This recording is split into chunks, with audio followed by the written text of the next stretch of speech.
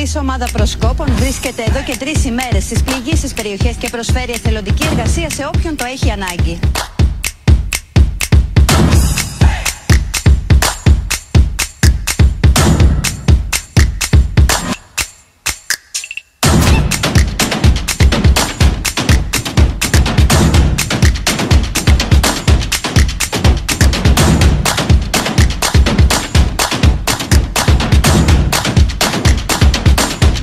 Οι πρόσκοποι από την πρώτη στιγμή της πανδημίας οργανώθηκαν σε κάθε γωνιά της Ελλάδος με στόχο να συμβάλλουν στη διατήρηση των μέτρων και να προσφέρουν τη βοήθειά τους στη δύσκολη αυτή περίοδο.